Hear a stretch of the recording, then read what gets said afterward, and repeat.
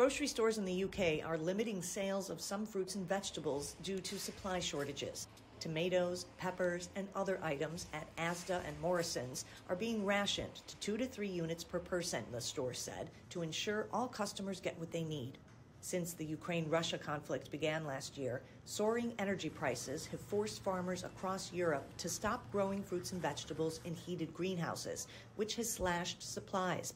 Other factors include poor weather in Mediterranean countries, which supply things like cucumbers and lettuce, and Brexit, which has added holdups at the border and discouraged some suppliers from working with the UK. If you see all over the world, a commodity, uh, you know, it's everywhere is a shortage. It's uh, obviously because it's impacting everywhere in the world.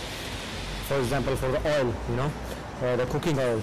If you see that one, uh, if you see the prices, I think uh, if you go back uh, around uh, maybe one and a half years ago, I used to take one of the five liter oil, it's around five pounds something, and it's now jumped to 12 pounds.